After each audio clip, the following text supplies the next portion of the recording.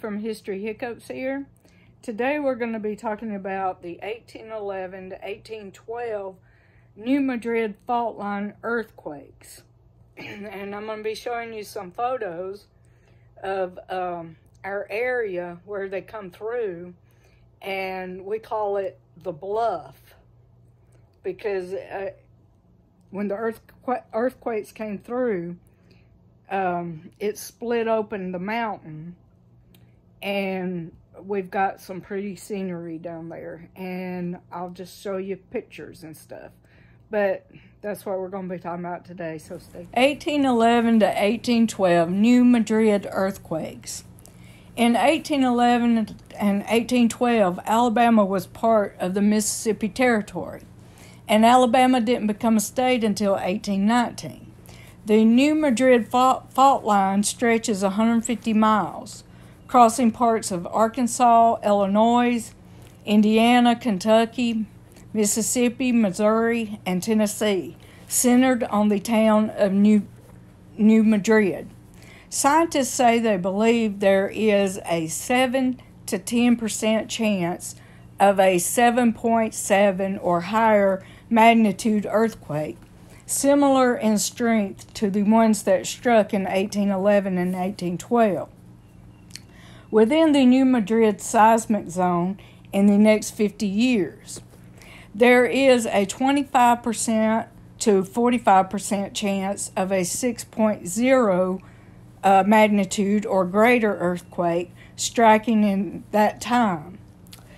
And the information I got from this was written in January 2020. So these are strange happenings during the earthquakes. The New Madrid earthquakes were the biggest earthquakes in American history. They, they occurred in the central Mississippi Valley, but were felt as far away as New York City, Boston, Montreal, Washington, D.C., and Washington, D.C. President James Madison and his wife Dolley felt them in the White House. Church bells rang in Boston from December 16, uh, 1811 through March of 1812.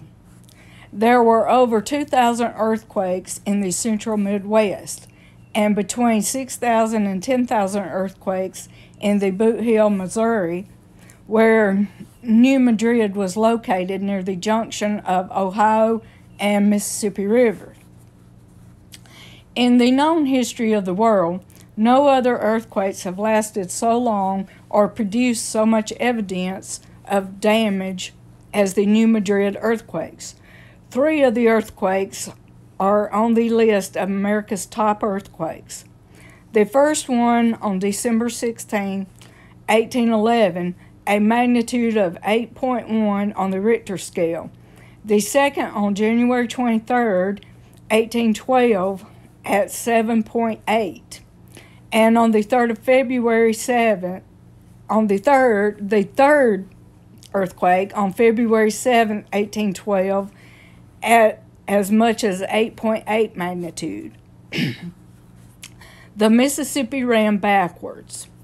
After the February 7th earthquake, boatmen reported that the Mississippi actually ran backwards for several hours.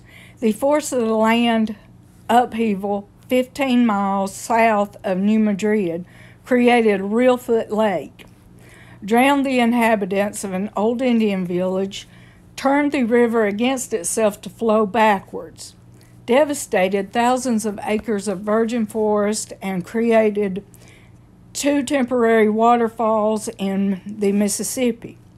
Boatmen on the flatboat on flatboats actually survived this experience and lived to tell the tale. Getting over cracks. As the general area experienced more than 2,000 earthquakes in five months, people discovered that most of most of the crevices opening up during the, an earthquake ran from north to south. And when the earth began moving, they would chop down trees in the east west direction and hold on using the tree as a bridge.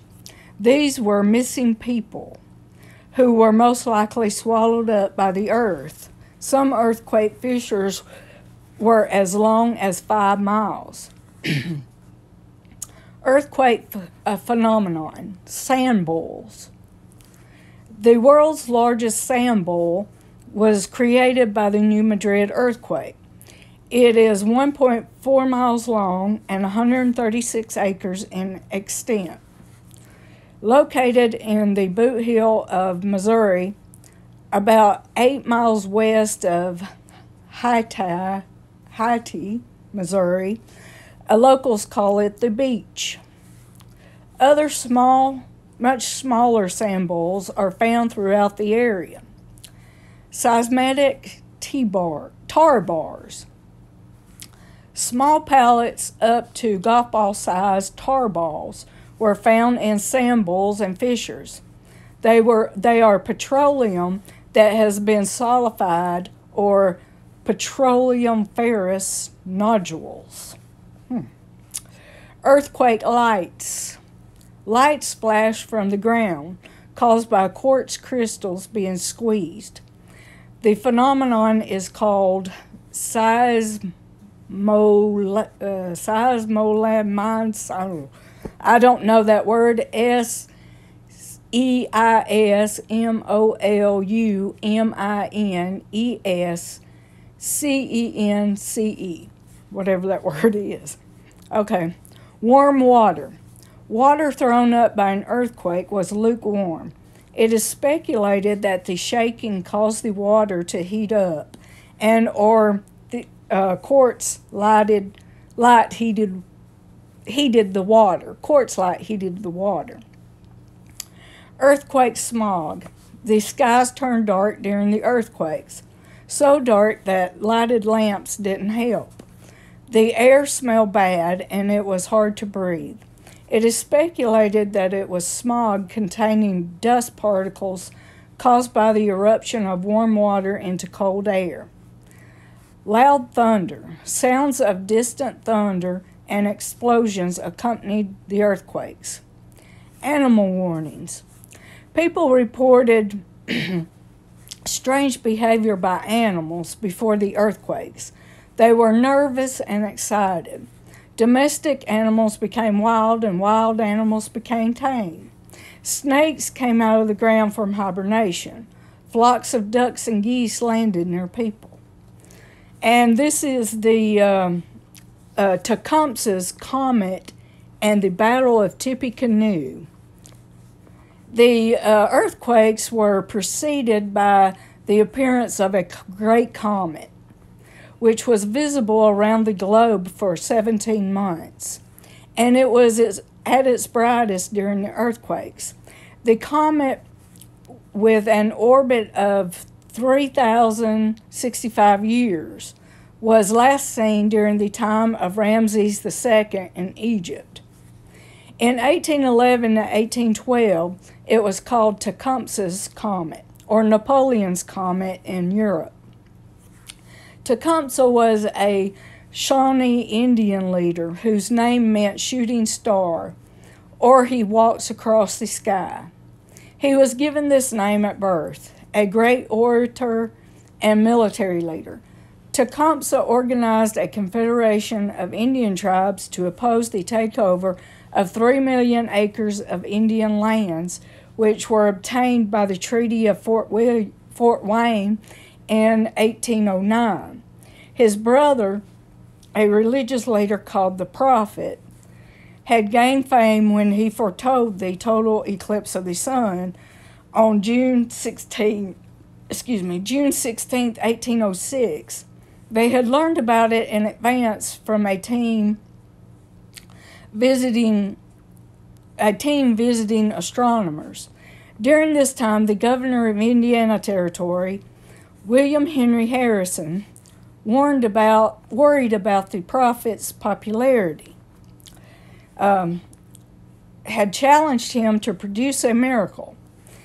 After the day of the black sun, the brothers had no trouble attracting followers.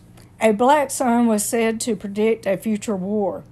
On September 17, 1811, there was another solar eclipse, which again was predicted by the prophet. The brothers' center of operations was at Prophetstown, located near the junction of the Wabash and Tippecanoe rivers in northern Indiana. Tecumseh was traveling and recruited warriors among the southeastern tribes when Governor Harrison attacked Prophetstown with over a thousand men on November 6, 1811, a preemptive strike by the U.S., which marked the beginning of Tecumseh's War. On December 16th, when the earthquakes began, Tecumseh was at the Shawnee and Delaware Indian villages near Cape Girardeau, 50 miles north of the, of the epicenter at New Madrid. The earthquakes continued as he traveled to Prophetstown Arriving there at February 8, 1812, Tecumseh's followers lost the Battle of Tippecanoe, but they continued to fight as allies of the British during the War of 1812 between the United States and Great Britain. Tecumseh was killed in battle in Canada in 1813. He is honored as one of the greatest of Indian leaders, both in the United States and in Canada, where he is considered a national hero. The first steamboat on the western waters survived the earthquakes. The steamboat traveled, the first steamboat travel on the Ohio Mississippi rivers took place during the New Madrid earthquakes. The New Orleans set out from Pittsburgh on October 20th, 1811, bound for New Orleans. Captain Nicholas Roosevelt had brought along his young wife, their two year old daughter, and a Labrador dog. Ten days after leaving Pittsburgh, his wife Lydia gave birth to a son in Louisville, Kentucky. They waited a while for her to recover and for the water to rise prior to crossing the dangerous waters and coral reef at the falls of the Ohio. On the night before the day of the earthquake, December 16th, the steamboat was anchored near Owensboro, Kentucky, about 200 miles east of New Madrid, Missouri. Their dog Tiger insisted on staying in the cabin with them instead of sleeping on the deck. Without realizing it, they headed straight towards the epicenter of the greatest earthquake in American history. Their steamboat intended to be an advertisement for steam travel, was thought instead to be the cause of the earthquake by many who saw it. At Henderson, Kentucky, where no chimneys, no chimneys were left standing, they stopped to visit their friends. The painter John James Abdon, uh, Abdon and his wife Lucy Floating in the middle of the Ohio River, they were protected from the earthquake tremors shaking the land, but not from the hazards of falling trees, disappearing islands, and collapsing riverbanks. After entering Indian Territory on December 18th, they were chased by Indians who figured the fire canoe had caused the earthquake. But they managed to escape, captured by outrun escape capture by outrunning them. They even had a small cabin fire that night, which they managed to put out. Thousands of trees were floating on the waters. Uh, well, um, I lost my place. Oh, darn it. Okay, I'm getting there. I'm getting there. I'm getting there. Okay, here we go. Thousands of trees were floating on the water waters of the Mississippi. As they approached New Madrid on December 19th, three days after the earthquake, they found that the town of New Madrid had been destroyed.